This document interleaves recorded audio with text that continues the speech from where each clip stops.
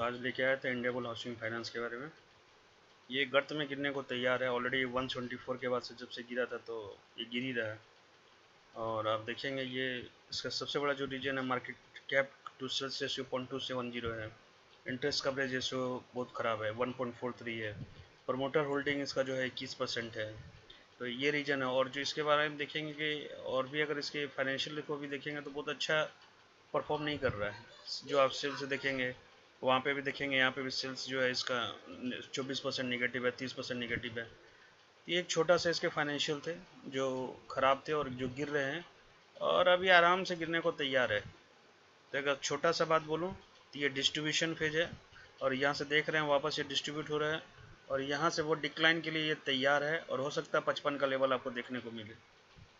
तो इसका सबसे बड़ा क्या रीज़न है कि जब इसने अपने हाईएस्ट लो बतम ये जो इसका लोएस्ट लो था 180 के आसपास था, जब इसको तोड़ा था, वहाँ पे जिसने शॉर्ट किया होगा, वो आराम से आज अच्छा काम कर रहा होगा। और यहाँ पे ये सिग्नल दे चुका था ऑलरेडी जब ये फॉल कर रहा था ना, यहाँ पे देखिए, इसका पोजीशन जो इन्वर्स पोजीशन बना हुआ है ऑलरेडी तो ऑलरेडी ये सिग्नल भी दिया हुआ था। तो अभी भी ये क्या कर रहा है, आप यहाँ पे देखिए तो ये डिस्ट्रीब्यूशन फ़ेज़ चल रहा है इसका।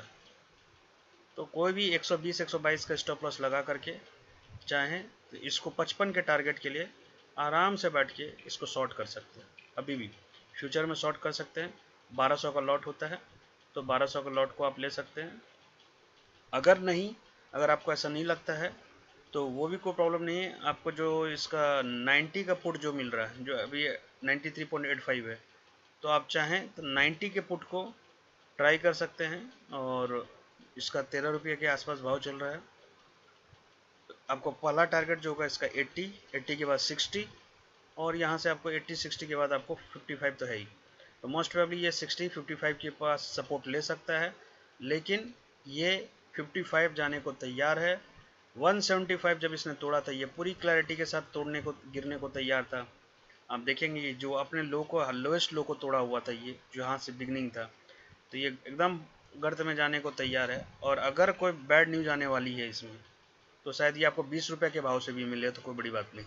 लेकिन इसमें अभी कोई भी लॉन्ग पोजीशन बनाने की कोशिश मत कीजिएगा, इसको कैच मत कीजिएगा।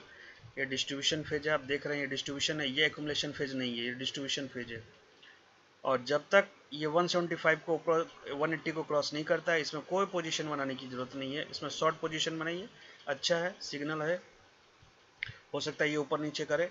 लेकिन कोई फ्यूचर में चाहे तो 125 के स्टॉप लॉस से इसको शॉर्ट की पोजीशन 55 के लिए देख सकते हैं ट्राई कर सकते हैं। ये मेरा व्यू है ओपिनियन है। आप मार्केट में कोई भी पोजीशन बनाने से पहले अपने फाइनेंशियल एडवाइजर से ज़रूर से ज़रूर बात कर लेंगे। मेरे ओपिनियन से सिर्फ़ नहीं बनाएँगे। मुझे से दिख रहा है कि ये गर्त में जाने को तैयार है और कोई ना कोई बिग न्यूज़ और भी आएगी, ख़राब न्यूज़ आने को है, जो आ जाएगी। हो सकता है जो पेपर पे दिखाया जा रहा है, वो सब भी गलत हो। देखने के लिए तो फाइनेंशियल पी रेशियो बहुत अच्छा हो चुका अभी इसका। P one point four three है, जहाँ इंडस्ट्री पी चौबीस परसेंट है। हो सकता है ये बहुत अच्छा दिख रहा हो, लेकिन मुझे यहाँ पे अच्छा नहीं दिख रहा है। और 55 के टारगेट के लिए आप चाहें तो इसको शॉर्ट कर सकते हैं 120 का स्टॉप लॉस लगा करके। वीडियो देखने के लिए बहुत बहुत धन्यवाद।